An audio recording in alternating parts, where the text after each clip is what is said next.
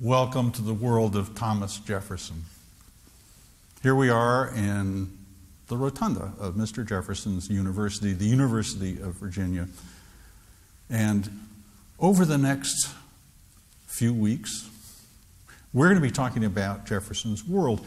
And we want to begin right here in the rotunda as a place like Monticello, his home, some five miles away on top of a hill a place where we can get to know Jefferson a little bit. But why should we want to know about Jefferson and his world?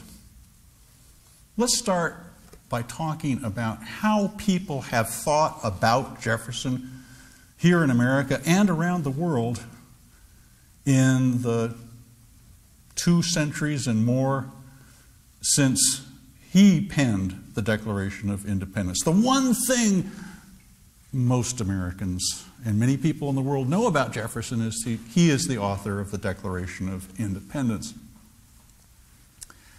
Now, of course, the Declaration of Independence, the creation of a new American nation, was an important event in world history.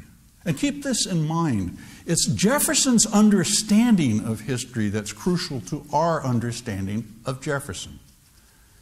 Jefferson sees the revolution in the context of the progress of mankind.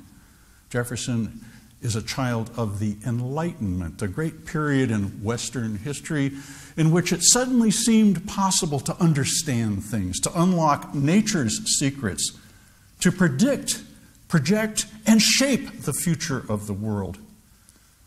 The Enlightenment had proceeded on several fronts the scientific enlightenment, a philosophical enlightenment, new ways of knowing and learning and understanding.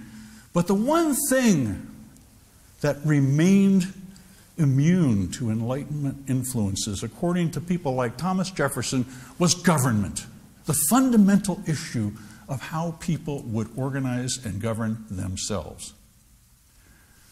For Jefferson, everything changed on July 4th, 1776. It was going to be a new world. And of course, when Jefferson and his fellow patriots imagine a new world, they are simultaneously imagining an old world against which they compare their experiment, as they called it. Think of that word experiment an experiment in Republican government, the new science of man applied to the quotidian daily affairs of ordinary men and women, this was going to be a revolution in political science and practice, applying uh, Enlightenment principles about human nature and human possibility and potential to the business of government. All men are created unequal. That would have been the common sense of most people on the eve of the American Revolution. After all, you can't have a society if you don't have an order. Order implies hierarchy. Think of this vertical axis from top to bottom. Think of me as the head and you as the body. I am king for a day, and you are my subjects.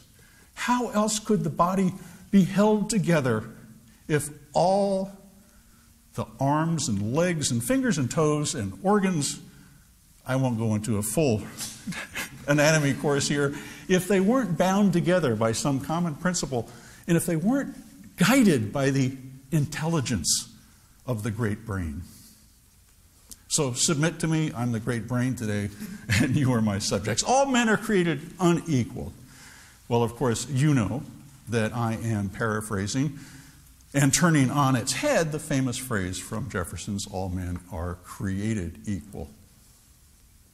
That, for Jefferson, was a self evident statement of a principle that had to be true. It was foundational. It's a principle that everybody would recognize once they opened their eyes. And think of that idea of opening your eyes, of being enlightened and suddenly seeing things that had never been clear before. This is Jefferson's belief in democracy. You may have lived under monarchy, you may have lived under a totalitarian regime, He wouldn't have said that. You might have lived under an aristocratic regime, and you might have imbibed and taken on the prejudices and biases. You might have thought you were unworthy to stand on the same level with those who rode by on high horses and looked down on you condescendingly. But think about it for a minute.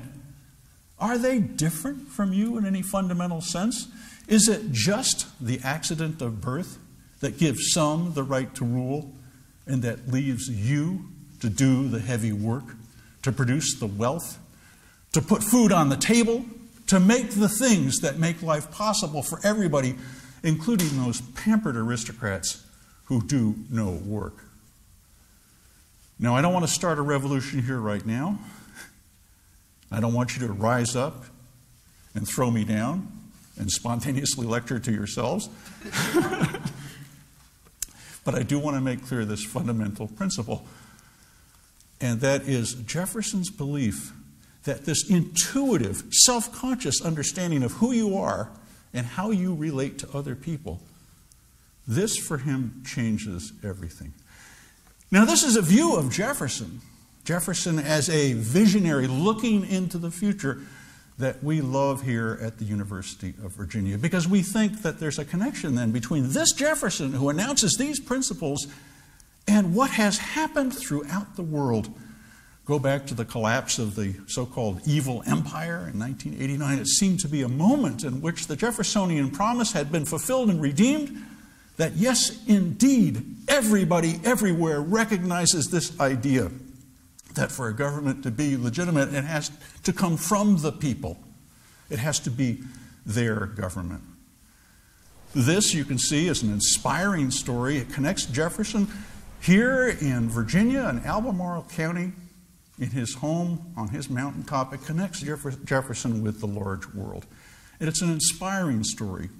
And it's why Jefferson has been honored over the generations by Americans because of that vision.